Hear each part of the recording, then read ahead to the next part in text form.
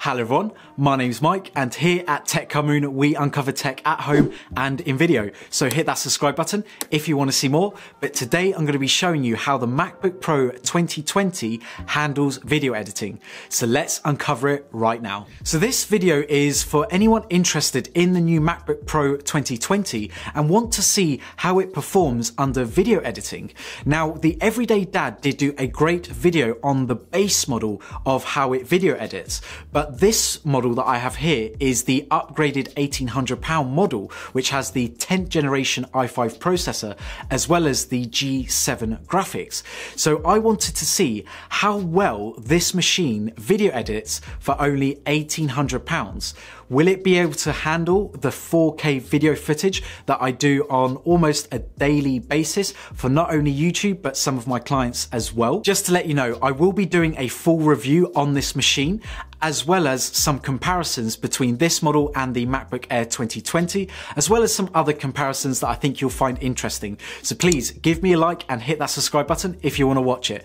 But let's just jump into the video editing. So right over here, I've got the 4K project that I always do. So this is 4K 8-bit footage, and this is my test project that you've seen in all my videos.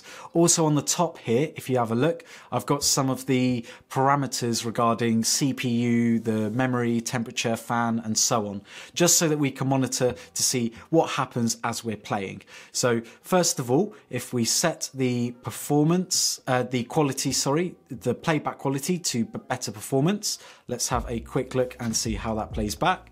So as you can see, absolutely fine. And you probably noticed I've got two layer adjustments over here. So I've got a simple color correction and a LUT as well applied. So, you know, good test to see, you know, average editing. Now that's on better playback, so looks like no issues over there. Now let's check it on better performance and let's see how that plays back. So from what I can see, no drop frames whatsoever. CPU still doesn't look to be used. We can see the GPU jumping up quite a bit. I think the GPU in this is probably its only limiting factor, even though it is 80% better than the base model, according to obviously Apple. But yeah, I'm seeing good playback. Let's just check the transition again no issues just over there. So good to see that we're seeing no issues.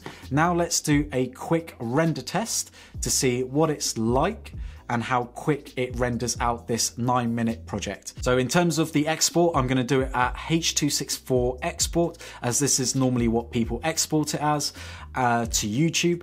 So we'll press next and let's save this. So start Okay, so that took 9 minutes and 15 seconds. So I did do this test a couple of times and it got between sort of 8.5 minutes to, to 9 minutes. So definitely very, very good performance throughout the rendering. The fan speeds never reached more than sort of 70 to 80%, which is really good to see. The GPU was pretty much maxed out and the CPU usage stayed at around sort of 20 to 30%, including the memory as well. So the RAM only stayed about sort of 40%ish when rendering. So really the limiting factor to this is actually its graphics card. So even though it's improved, it's still limiting its video editing or exporting capabilities. So that's really interesting to see. So maybe it's about time Apple had a dedicated graphics uh, version or upgrade to these models. Maybe next year, who knows? We'll have to wait and see. But definitely seeing a very good improvement compared to the MacBook Air. So one thing that I thought I would try is actually having two 4K clips side by side as well as a clip in the background just to really stress test this. I've only just thought of doing this. So let's test out the playback and as you can see I can't see any visible drop frames. Now there's no color correction on this, maybe one or two drop frames here and there potentially in this clip I can see but not too bad and we've still got it set to better quality. Now let's add the color corrections onto it. So add that and add that onto there. And now let's see what the playback is like. So I'm seeing it a little bit more in terms of drop frames, so probably another one or two drop frames there. But if we set the performance to better performance on the quality setting, I think we should actually see much better playback. Let's have a look. Oh yeah, perfect. That is literally perfect. No drop frames at all. Yeah. Yeah, that's spot on. Let's play that again. Yeah, and scrubbing is nice on that as well. So yeah, so if you've got sort of three layers of potentially 4K footage, then it can handle it with a couple of color grades, but leave it on better performance and you'll have a smooth editing experience.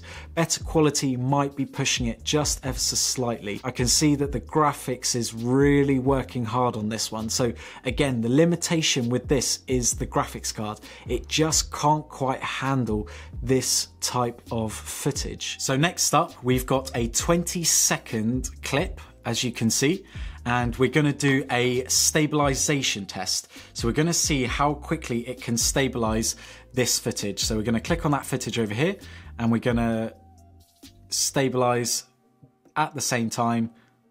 There you go. And we'll open this up and see how quickly it stabilizes this clip. Okay, so nearly finishing the stabilization and there you go. So basically 40 seconds. So a 20 second clip takes about 40 seconds to stabilize. So very, very impressed with that. That's really, really good. Now the next step is to test its motion tracking capability. So I'm just going to grab a 10 second motion tracking clip over here. And then what we're gonna do is, is we're gonna track this little eye just over here and see how quickly it can track this particular object. So there you go. So we've got the motion tracking just over here and three, two, one.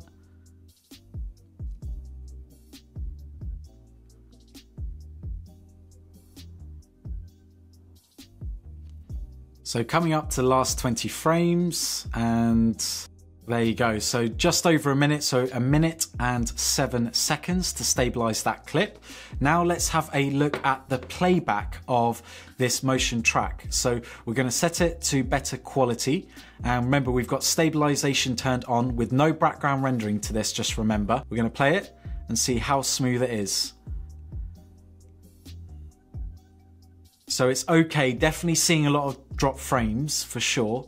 So it's not the smoothest and now it's smooth with the motion tracking off which is fine.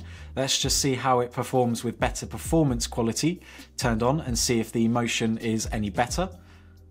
Oh yeah, much better, much, much better. So it's definitely handling that absolutely fine in better performance. So one thing to note is if you're doing a lot of Mocha tracking in in this software then I would probably recommend you put it into better performance and you should have a very smooth experience when editing and using these types of effects. In better quality you'll notice for sure some dropped frames as you can sort of see when that line sort of comes up here.